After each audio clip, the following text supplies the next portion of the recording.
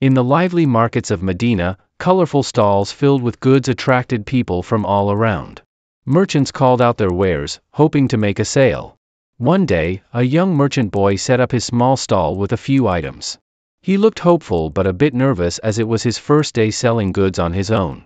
Prophet Muhammad, peace be upon him, was walking through the market when he noticed the young merchant boy.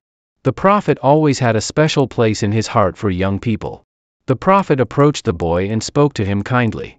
He asked about the goods he was selling and how his day was going. The boy showed his goods to the Prophet, explaining each item honestly and clearly. He was determined to be truthful in his dealings.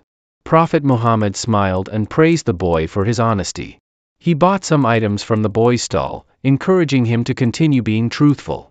The Prophet stood by the boy's stall and spoke to other merchants and customers about the importance of honesty in trade. He said, The truthful and honest merchant is with the prophets, the truthful, and the martyrs.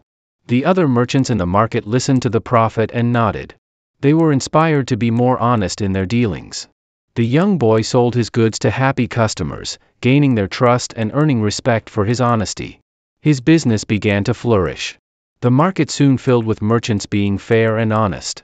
Customers smiled and felt satisfied with their purchases, knowing they were treated fairly.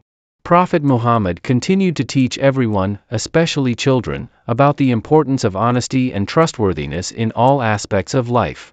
The story of the Prophet and the honest merchant teaches us the value of honesty and integrity. By following the Prophet's example, we can build a community based on trust and fairness. Thank you for listening.